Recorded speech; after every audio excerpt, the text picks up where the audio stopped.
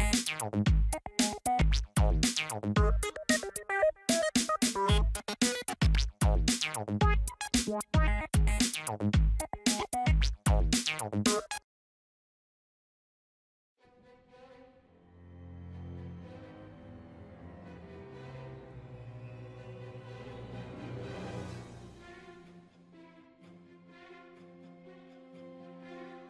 Salut à tous, c'est Opium, bienvenue pour cette nouvelle vidéo chronique. Alors quand les jeux vidéo ont commencé à débarquer en arcade puis dans les salons, sans doute par sa facilité de programmation à l'époque, un genre de jeu vidéo s'est fortement développé et connu un immense succès auprès des jeunes, je veux bien sûr parler des shoot'em up, autrement appelés les shooters ou les shmup.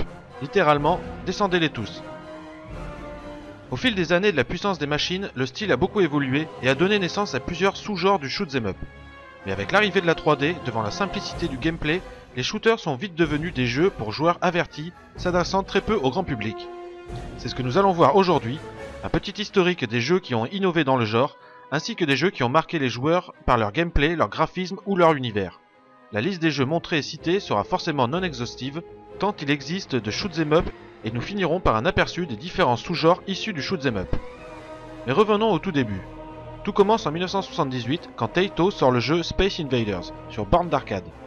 Inspiré des casse-briques, Space Invaders sera un immense succès, mettant en place les premières bases d'un gameplay simple mais efficace pour scotcher un joueur devant son écran et deviendra un des jeux les plus célèbres dans l'histoire du jeu vidéo. La représentation pixelisée des aliens, les ennemis du jeu, deviendra bientôt et encore aujourd'hui une icône pour symboliser le monde du jeu vidéo. Au début, les shoot'em up sont en 2D avec un écran fixe, dans lequel le joueur dirige un vaisseau qui doit tuer tous les ennemis présents à l'écran et qui lui tire dessus, passant de niveau en niveau. Très vite, la simplicité du gameplay ainsi que l'esprit arcade fera que le score deviendra très important. Son influence sera immense, c'est grâce à ce jeu que le monde entre dans l'ère du jeu vidéo. Chaque support possède leur version de ce jeu, souvent des clones car le concept du shoot'em up est très attrayant pour les développeurs. Namco sortira Galaxian en 1979, puis Galaga en 1981, et ce n'est que le début de l'ère des shooters. Au fur et à mesure, le gameplay va évoluer et les possibilités qu'offre le style va beaucoup inspirer les programmeurs. En effet, le vaisseau et les ennemis, plutôt statiques, vont commencer à pouvoir se mouvoir dans tous les sens sur l'écran, et les réflexes et les skills vont bientôt devenir importants pour gagner dans les shoot'em up, des schémas d'ennemis plus complexes et des graphismes plus riches. Plusieurs sous-genres vont ainsi naître au fil des années. En 1980, le jeu Defender introduit le scrolling, qui sera d'abord horizontal, notre vaisseau pourra même aller dans les deux sens, principe qui ne sera pas forcément repris dans les jeux vidéo futurs, sauf dans des jeux comme Shoplifter ou Fantasy Zone. Avec Scramble de Konami, le scrolling horizontal forcé sera institué, forçant le joueur à aller toujours de l'avant. Les innovations de gameplay et de level design commencent avec des niveaux bien distincts et l'apparition des smart bombs. Les shooters à scrolling vertical, en vue de dessus donc, font évidemment leur arrivée avec le premier jeu, Borderline, développé par Sega en 1981. Les innovations dans le gameplay changent à chaque nouveau jeu, le scrolling, mais aussi un boss en fin de niveau, avec un point faible à viser, mais aussi la notion d'altitude permettant de se rapprocher ou s'éloigner du sol pour éviter les ennemis, ou d'autres jeux comme Xevious, dans lequel on doit tuer les ennemis aériens mais aussi terrestres, comportant aussi des bonus cachés. 1985 sera l'année où le shoot'em up verra débarquer une production Konami qui marquera pour longtemps les joueurs, Gradius. Ainsi, les bonus offensifs et défensifs avec des boucliers et des tirs additionnels se greffant au vaisseau sont introduits. Gradius permet un système de gestion des armes que l'on peut upgrader, ce qui n'est pas nouveau mais reste le mieux réussi à l'époque. A ceci un level design beaucoup plus innovant, Gradius verra de nombreuses suites jusqu'à Gradius 5 en 2004 sur PlayStation 2, considéré comme le meilleur Gradius. C'est en 1987 qu'un autre monument du shoot'em up verra le jour, développé par Irem R-Type. Il s'agira d'une révolution graphique par rapport aux autres jeux, avec une réalisation soignée et raffinée, un level design très recherché et surtout avec des boss immenses dépassant la taille de l'écran et faisant ainsi souvent clignoter les sprites. R-Type innove aussi avec un tir plus puissant en laissant appuyer le bouton de tir. Devant son succès, Irem développera de nombreux portages, des suites et des rééditions jusqu'à la version iPhone en 2010. Jusqu'en 1988, de nombreux shooters seront développés comme Darius de Taito, le premier d'une longue série, ainsi que Fantasy Zone par Sega, dont le personnage Opa Opa sera une des mascottes de la firme. A partir de 1988, les nouveaux shoot'em up ne seront que des améliorations de modèles déjà existants, que ce soit le gameplay, le fonctionnement des boss, ou l'acquisition et la gestion de l'armement et des power-up. La console Neo Geo, avec sa puissance, verra surtout des shooters avec des graphismes beaucoup plus détaillés, comme sur les jeux Alpha Mission 2 en 1991 ou Aero Fighters en 1992. La Mega Drive, un peu plus puissante que la Super Nintendo pour gérer le nombre de sprites importants à l'écran, verra de nombreuses conversions de shooters issus de l'arcade, comme la série des Thunder Force par exemple. L'autofire se généralise petit à petit, épargnant des tendinites aux joueurs. On peut quand même citer le jeu Star Fox sorti en 1993 sur Super Nintendo qui sera le premier jeu en 3D polygonal.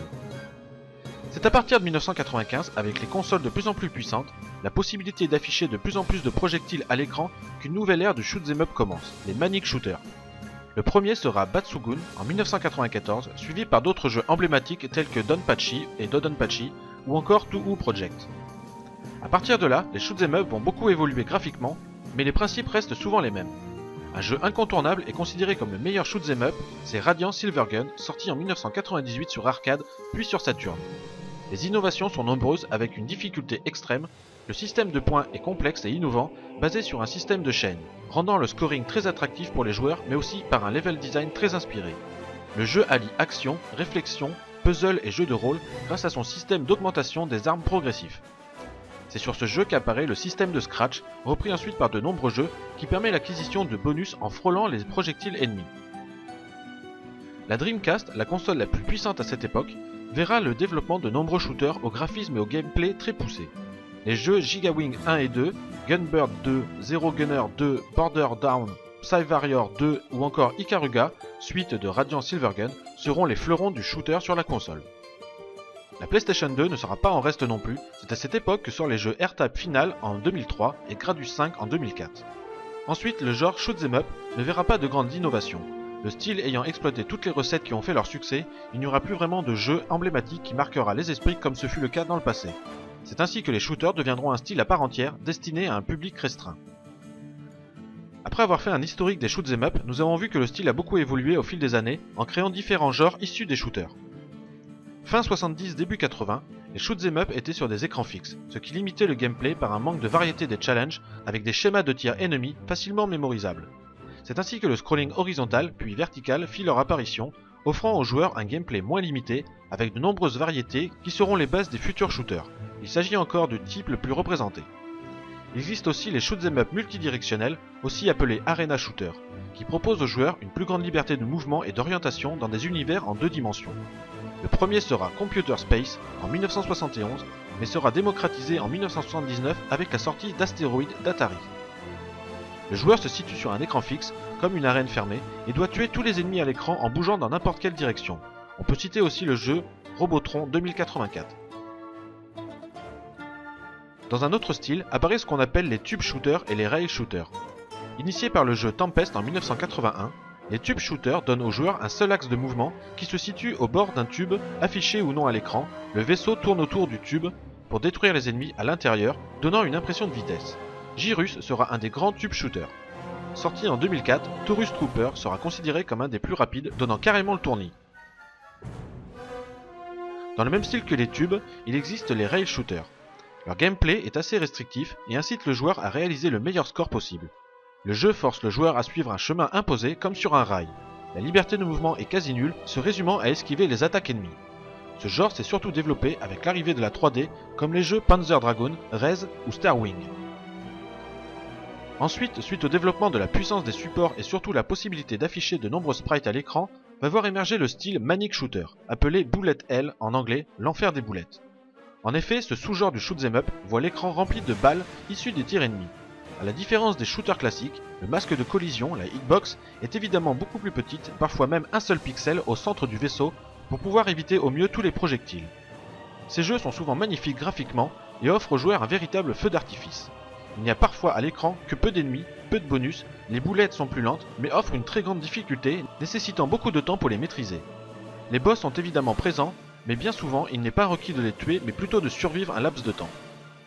La société Treasure, créée par des anciens employés de Konami, et la société Cave sont devenues rapidement de grandes références dans les shoot'em up et particulièrement dans les manic shooters.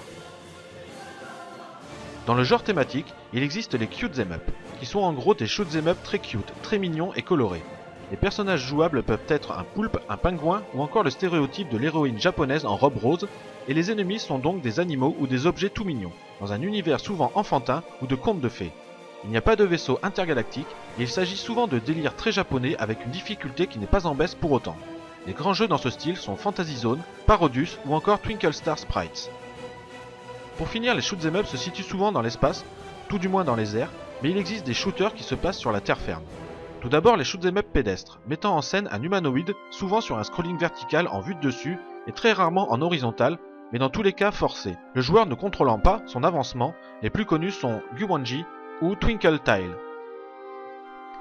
Enfin, souvent apparenté au shoot'em up, mais pourtant quelque peu différent, il existe le genre run and gun, dans lequel on joue un humain qui peut sauter et courir.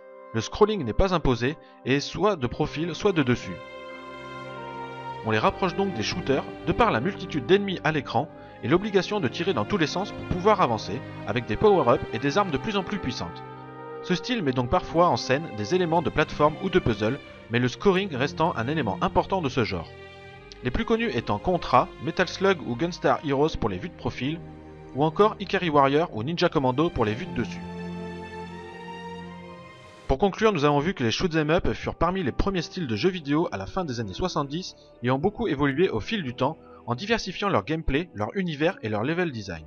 A l'époque, tout était à faire et les possibilités, l'imagination était débordante donnant ses lettres de noblesse à ce style qui aura marqué énormément les joueurs, même s'il était souvent cantonné à des joueurs vraiment fans. Les jeux de plateforme, puis beaucoup plus tard les shooters à la première personne, les FPS, domineront plus les ventes.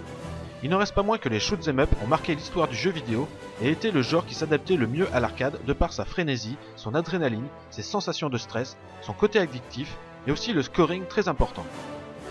Aujourd'hui, le style a plus ou moins disparu et s'adresse à un public restreint même si de nombreux jeux sont encore inspirés des shoot'em up, il s'avère assez difficile de réinventer ou d'innover le genre dans les années à venir. Je vous remercie d'avoir suivi cette vidéo, si vous avez aimé vous pouvez liker, commenter et partager, et je vous dis à bientôt pour une prochaine chronique. Ciao